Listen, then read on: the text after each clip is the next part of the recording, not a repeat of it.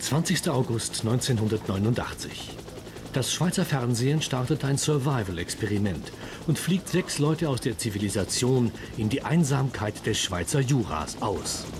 Das sind das Heidi Huber, der Röbi Dubil, Evelyn Rufer, der Werner Früh, Walter Traber und Annelies Seiler.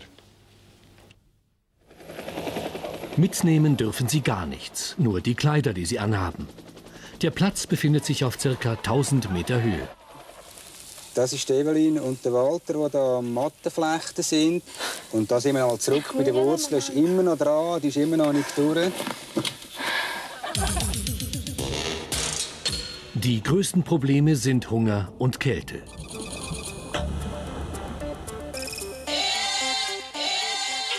Die einzige Hilfe zum Überleben erhalten die Teilnehmer von Experten im Studio. Hier eine Anleitung zum Feuermachen. So einfach ist es jedoch nicht.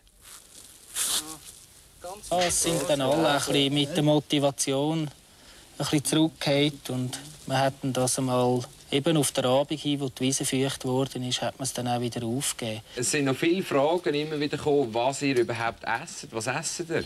Wenn Also, überhaupt? Himbeere und Wasser. Beere suchen, Wasser trinken, Hütten aufbauen, Nest abreißen zum Abdecken. Jetzt machen wir noch ein Vordächli und das ist dann so um Gras sammeln, wenn es nicht regnet. Ich würde sagen, als erstes den Kopf zerdrücken, damit das Tier sich nicht quält. Dann die Hinterbeine weg, denn wenn man die, die Hinterbeine haben Widerhaken. Wenn man die in den Hals kriegt, dann fangt ihr an zu stottern. Ganz durchgehalten haben nur drei von sechs. Evelyn Rufer gibt bereits in der Halbzeit auf.